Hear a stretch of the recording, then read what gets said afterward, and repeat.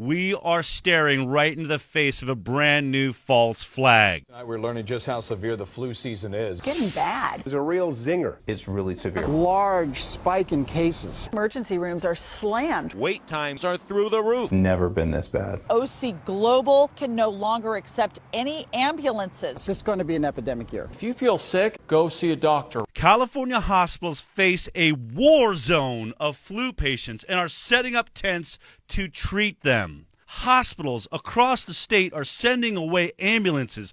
Others are canceling surgeries and erecting tents in their parking lots so they can triage the hordes of flu patients. We're erecting tents. I mean, are there people lined around the block? Is that really happening? Oh. So, what did I ask you to do? What what what happened? You said, you know what? I don't think this is really happening. Go to those hospitals and see what's going on there. Tent- St. Joseph's. So there's, the St. tent. Joseph's. Oh, there it is. Look at Totally this. empty. Whoa! The waiting room. It's packed. We're turning people away. We can't do surgeries. We're flying in nurses. Torrance is where we went next. So there was no one there. And this is the place with the tent. Whoa! Totally empty. And then she went and checked out the tent.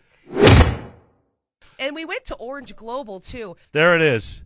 There it is, folks. That's it. The CDC admits they're doing this. Recipe for fostering public interest and high vaccine demand. Medical experts and public health authorities publicly state concern and alarm. Did you see continued reports from health officials and media that influenza is causing severe illness and or affecting lots of people? The flu false flag. That's what you just saw taking place in that news piece. That's what you saw LA Times writing about. Shame on you, LA Times. Shame on you, Soumya. Karlamangla. Your fear mongering, you should be ashamed of yourself.